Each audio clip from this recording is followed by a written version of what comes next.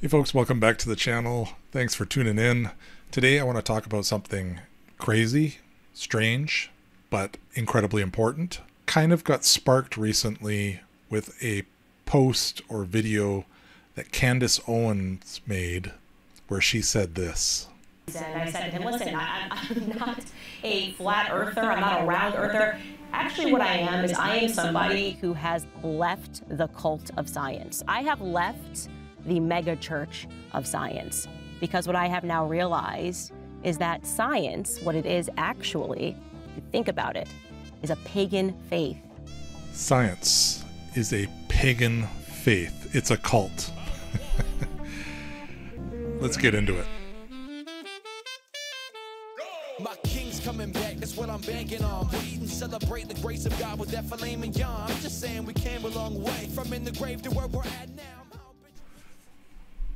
Okay, so Candace Owens, um, she's created a lot of kerfuffle on the internet from this statement that she made, which on its face is absolutely outlandish um, and flies directly in the face of a very science focused generation or generations of people that absolutely believe and trust in the science. Um, unfortunately, the science itself is not always truthful. And that's where the problem is. And I think this is kind of what Candace Owens is touching on here.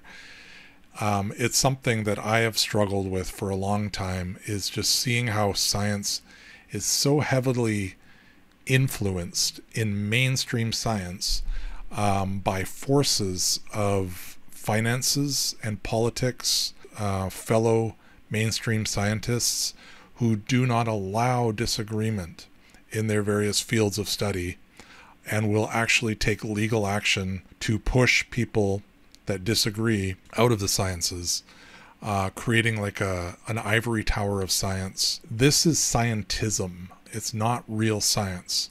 So, in my view, what Candace is speaking against is scientism um, which is like a cult. It is, um, it, it, you know, we see people saying, trust the science, or, you know, I effing love science. But what they're referring to usually is a bunch of ideas that they agree with uh, in a certain political direction, a lot of times, where there are scientists in the mainstream that have shared favorable understandings of things that they agree with, therefore it agrees with them, and then they and love science. But the dissidents, the other scientists that disagree, are often sidelined and their voices are not allowed to be heard. They're not allowed to publish in mainstream, most popular scientific publications because the peers that need to peer review them are all influenced in the same direction. A lot of times this this happens.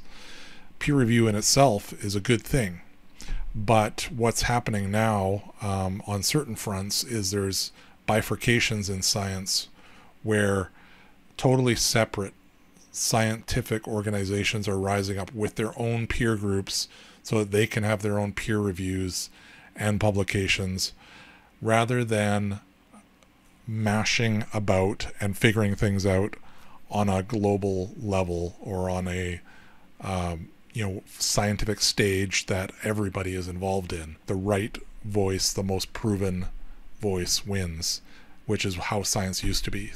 You know science the scientific greats um, all had did not have peer review and and many of them had beliefs in god. And this is where my perspective leans um, you know because i i've met god. He changed my life. I will never be the same again Therefore, anybody that says that there is no God to me is absolutely out to lunch. They are missing real science completely. However, there are people on the other side that are complete atheists that completely believe that anybody who believes in God is out to lunch and they are not real scientists. And a lot of times those voices have the loudest voice in the science in mainstream sciences. Even though the facts themselves when analyzed through the scientific method, will prove them wrong on compiled stacked evidence.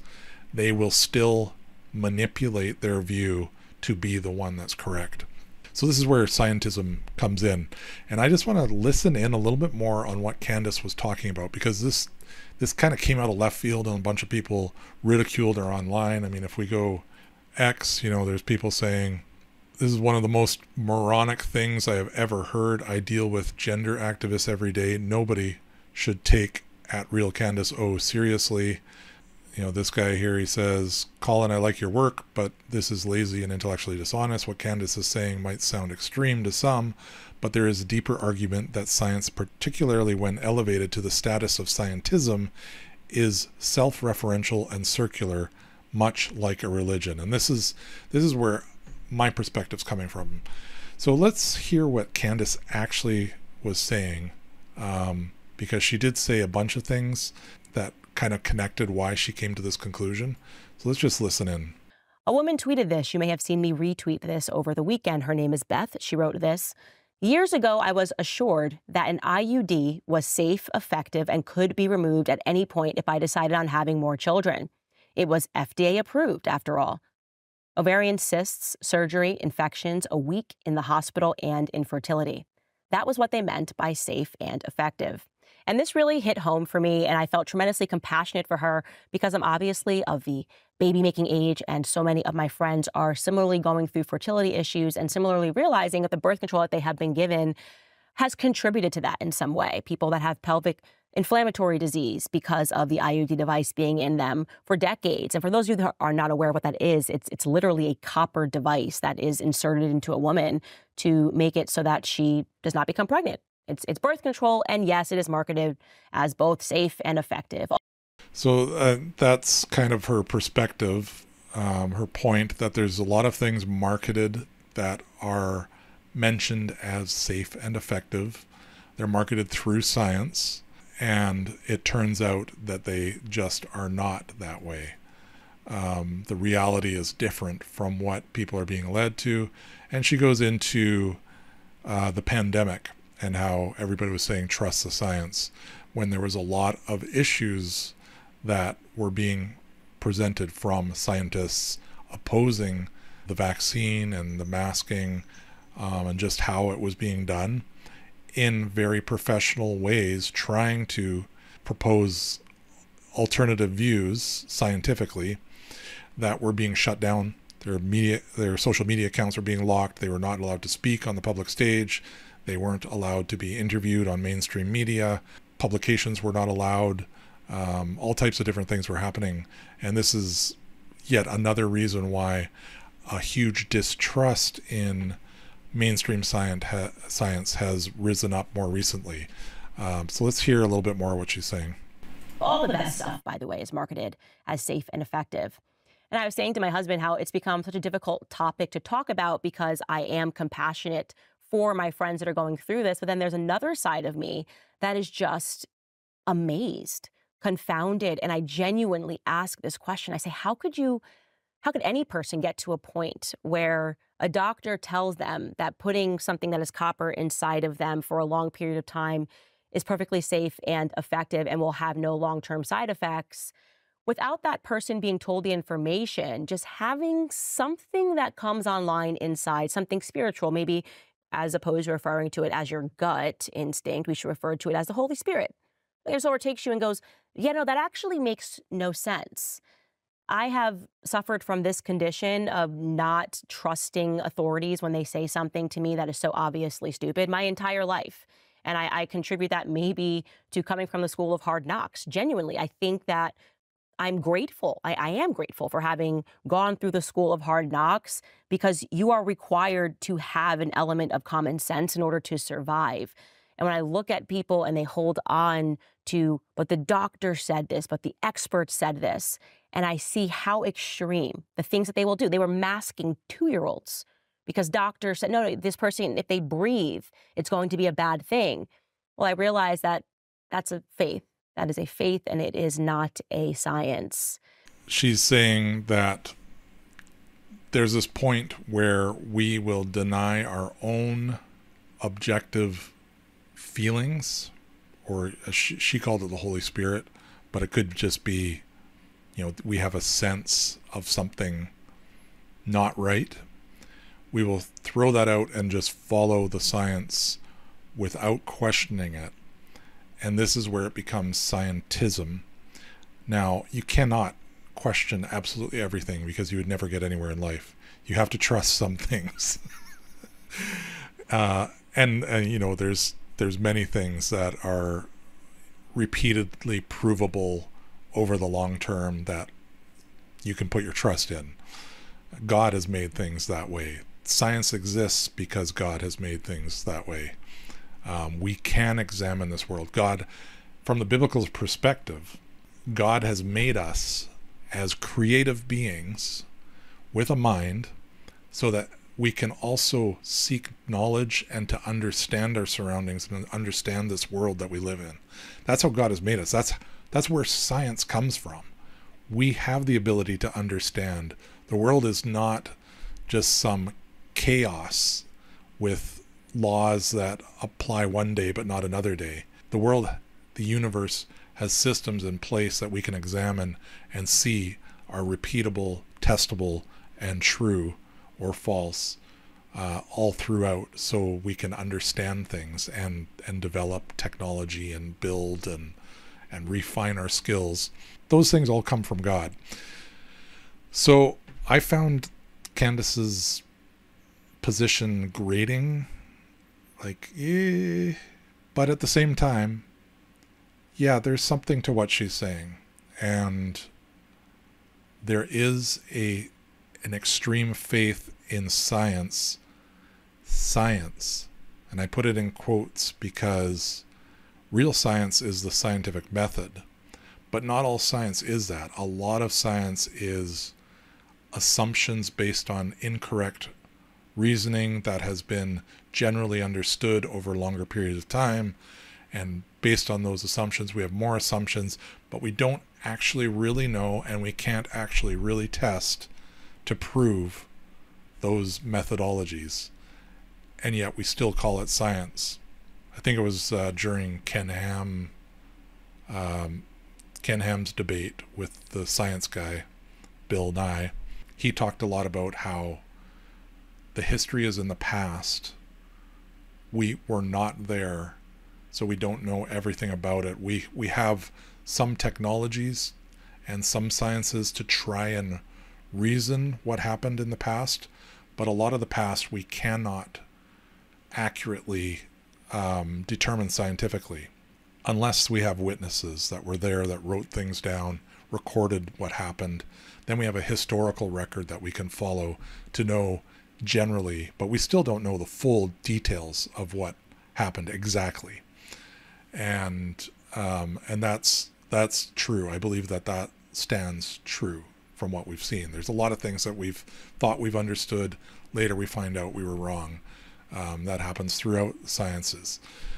I wanted to take a look a little bit at another another talk show that talked about a little bit on this topic, and this was this was Piers Morgan, and he had uh, Eric Weinstein on, the mathematician, along with some others, and they got into kind of a heated debate on things. And they they did actually talk a little bit about Candace Owens and Terrence uh, Williams, who was on the Joe Rogan show making outlandish claims of science that he doesn't understand, but he just was pontificating things. Um, and Eric Weinstein actually went on the Joe Rogan show to talk to him directly. Um, and then he received heat for doing that because it, it made it seem like he was legitimizing Terrence's thoughts, but he wasn't. He was actually uh, debating him a little bit, and and you know there were some things that were interesting in it, and he was pulling that out. But anyways, let's listen what Eric Weinstein has to say here because he goes into peer review, and then he goes into um, like the history of peer review, and then he goes into what's happening right now in the sciences and in the scientific world. You say that in my field, um, that uh, peer review is much older than uh, Ghislaine Maxwell, who was born in 1961. And it's you cited a bunch of journals in physics, and in fact, that's simply not true.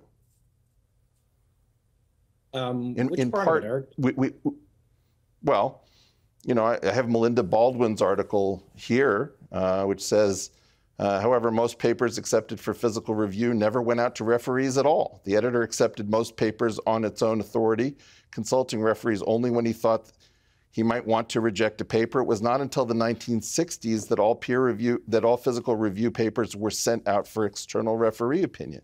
More or less, peer review comes out of Utah in 1972 through Senator Wallace Bennett's amendment um, that forces the issue into the NIH framework because the Medicare um, Act was established in 1965, making the US taxpayer responsible for medical payments that they suddenly wanted access to knowing why are we paying all of this money to doctors without the ability to question them. So, you know, in part, what I'm astounded by is that we're not even aware of our own history. If George Green, the miller, with no formal education, um, mailed off a solution to an inversion problem for differential operators, which is what gives us Green's functions, which Feynman made famous. Um, he didn't have any training whatsoever. It's in part very dangerous to be offended when people listen to what we say and they then say, I keep hearing that science is for everyone and that mathematics is a great place to play. There are no bad questions. And then when they appear to take an interest, uh, we cut their heads off. And I, my feeling is, is that uh, I'm not going to do that. I'm going to state what this is. This is an elite activity. It's elite the way a violinist is elite. It's, a, it's elite the way a surgeon is an elite brain surgeon. You're not going to have somebody. That right there is it's interesting because the the scientific method has always been historically uh, people that have a knowledge or an understanding beyond the regular that get interested in studying an area start to do it and have breakthroughs in their studies and then it's shared publicly and then it generally gets accepted as true um, or as plausible um, as a working theory, whatever it may be. Um, but now what happens is people get shut down, closed out, pushed off if they have disagreeable ideas. Um, and, and the bifurcation that I was talking about earlier has really happened between uh, creation or intelligent design scientists who believe and see in their sciences in vast areas of science. We're not we're not talking about religious studies. We're talking about um, molecular biology, um, cosmology, uh, you know, every level of science. They see divine fingerprints. That there's a designer, an intelligent being behind what we see and this is the logical conclusion um, that plays out across fields. And they're public public they're making articles and publications and research but they have now had to bifurcate themselves because they're not allowed in mainstream media. In fact they've been viciously attacked especially on the evolution front um, where you know people have lost their tenure they're they're not allowed to publish in you know all the mainstream magazines. They get ousted from universities. They get shut up from their professor jobs. Um, they're, they're, this has happened especially in the last hun- hundred years less than that um, even from the 60s as as he was talking. Uh, this has happened on on an upscale and it's actually wrecking science. It's not science it's scientism because real science says there could be a God, there could be a designer. Let's investigate everything. Let's not throw out these ideas. Um, even though they may think that they have the solution, often there's another solution that's a better solution. And this is this is where science has been going wrong. Now he goes on a little bit more uh, to talk about this there, there's several publications that have come out um, like The Slaughter of the Dissidents by Jerry Bergman. Um, there's Dissent from Darwin group. There's uh, a bunch of lists of scientists that are dissenting to the neo Darwinian evolution that are standing up, signing their names onto lists to say, hey, we don't agree with the the current state of evolution. It's not factual, it's not accurate, it's not what's happened, it's not what we're seeing in any of our fields. Um, it's not what genetics is showing. It's the whole evolutionary tree has been cut down. it doesn't make sense. There's other explanations that might be along evolutionary lines, but these scientists are not allowed to publish. Now, there's some turning that's happening, but this bifurcation has been happening in science to allow people to speak and share what they're finding and what they're seeing in honest ways. And it's basically like a revolution in science that's that is happening and has to happen uh, for the old guard to be pushed aside and to allow science to be science. And the mindset that there is no God and you're not going to allow a divine foot in the door of science, which was actually stated by Richard Lewontin, a geneticist uh, and a Marxist. He made that statement that we must not allow a divine foot in the door. This is anti science, and it's a problem that's been going on. So let's listen to a little bit more of what Eric says here because there's another part that I want to just touch on where he goes into where are all the objectors, the dissenters? We are not honest about the extent that this that this is an elite community. And the last thing that I would I would add to what you said is um, part of the problem is where are the dissident scientists who don't go along inside of the university system, inside of the research institutions? If you had them, they would have been uh, tarred and feathered during DEI because they would have said, Who are these foreign intruders into the academic arena? We must fire them and get them out. Claudine Gay could never have become president of Harvard. What we've done is we've gotten rid of all of the dissenting experts. And the dissenting experts who are going to get up and at the top of their lungs say, hey, we've got a disaster in theoretical physics at the moment. Uh, we have an abomination in the way in which we are pretending that uh, random mutation is decidedly the, uh, the main engine of Darwinian selection. Uh, we're going to pretend that neoclassical economics is on solid ground. Um, all of these things are, are just absolutely silly. And effectively, there are no professors who are standing up in good standing as experts doing the job that now Candace Owens is going to fill. Okay. And I promise you that it's, it's more expensive to get rid of your dissenters who actually know what they're talking about than it is to open it up to a public that wonders whether they've just ended, you know, shortened the life of their child by giving them an unnecessary experimental pseudo vaccine. All right, let me. So that's uh, the the rub. That's that gets to the meat of it, and um, I just want to take a look a little bit at scripture, and I'm going to bring up something that um, I've been helping with a little bit, uh, and encourage you to to take a look at donating towards the cause um, because I think it's a good cause. Um, but First Timothy says, if I grab this the right way here, there we go. It says Timothy, protect what has been entrusted to you, avoiding worldly empty chatter and the opposing arguments of what is falsely called knowledge which some have professed and thereby have gone astray from the faith. Grace be with you.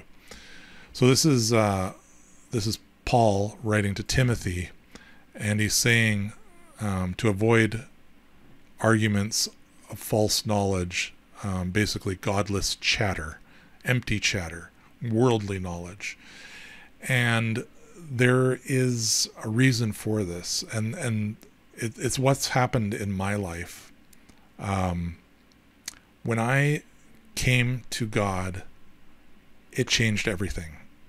It happened to me when I was in my teens. I experienced, I, I, I was deep in prayer, calling out to God that if He exists, I wanted to know Him.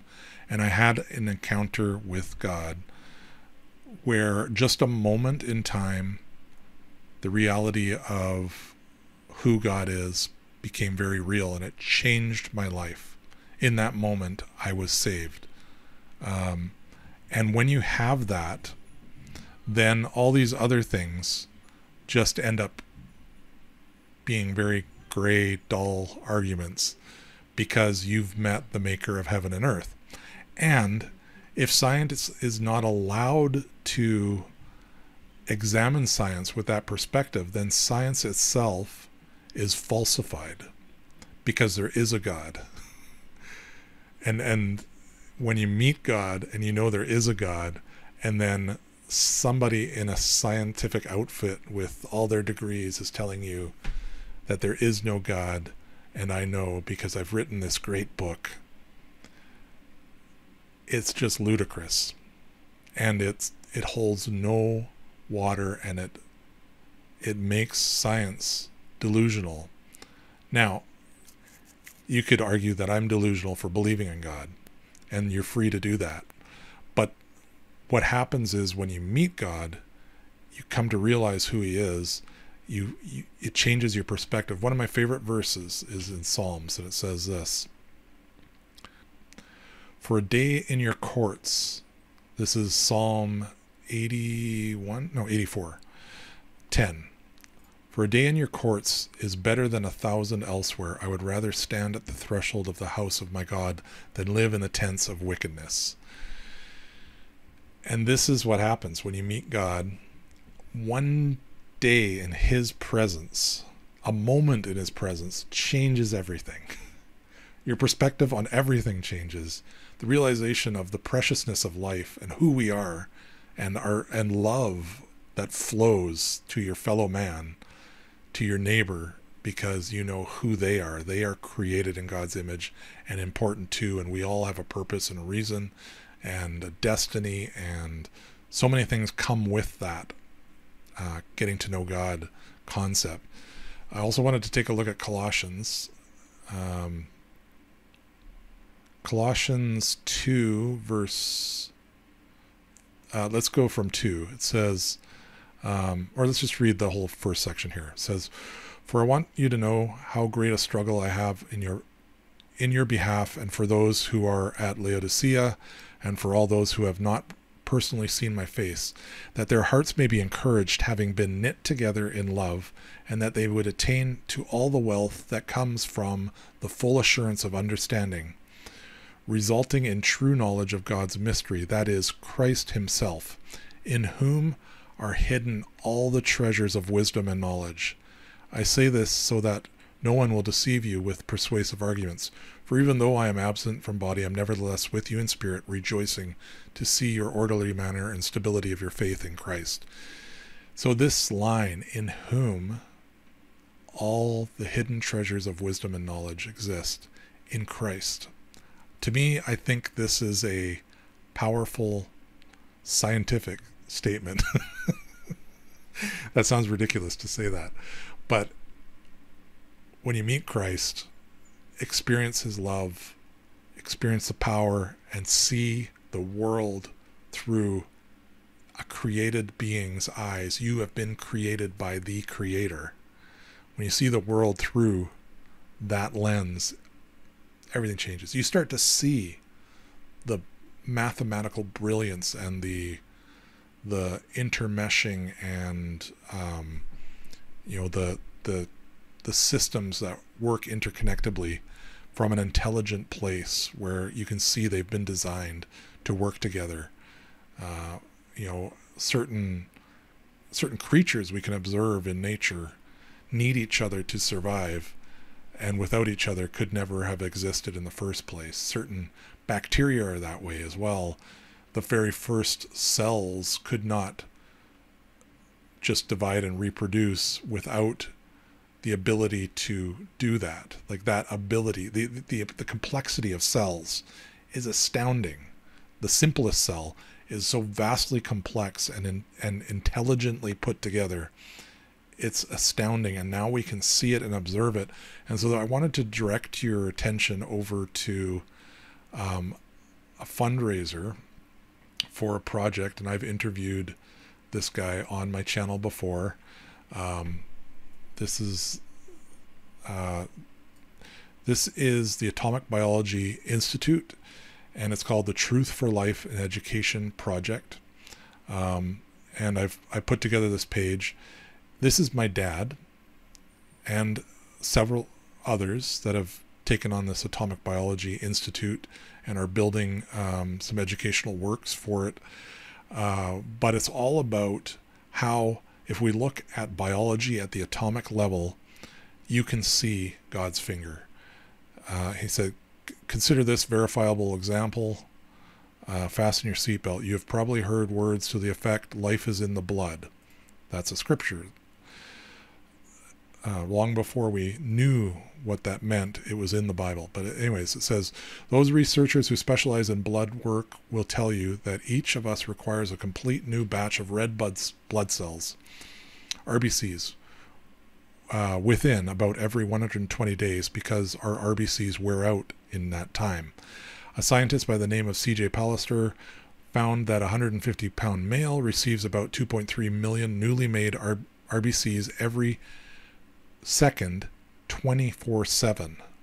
2.3 million new um, RBCs, which is red blood cells, every second 24 hours a day. Another named G or GJ Tortora determined that each RBC is made of about 280 million molecules of hemoglobin, and a third scientist, Max Perutz, found that each molecule of hemoglobin is made of approximately 10,000 correct atoms. So when you do the math, this 150 pound male is being given 2.3 2,300,000 times 280 million times 10,000 correctly sorted, selected, counted, and precisely assembled atoms every second. This is about 6,400 quadrillion correct atoms every second, 24 hours a day, just to build the needed replacement red blood cells in a 150 pound male. This is the astounding truth, people. So I, I, I ask you to go to that Give Send Go. It's givesendgo.com slash atomic biology. Please give to that. They're looking to raise funds to um, further promote the educational uh, portions of it, get some marketing involved in it, and also just build up the institute. Um, there's already several books uh, in uh, that are already published, and some others that are being published for teachers uh, and for different levels of people. Uh, so please take a look at that. Give Send Go, have a look through it, give what you can towards that Atomic Biology Institute, and um, help support Truth for Life education project. That would be awesome. The goal is to raise 50,000 Canadian um, because it's based in Canada. But uh, you know if we exceed that that's awesome. And uh, i would love to see you support that. I want to take this time to thank you for tuning in.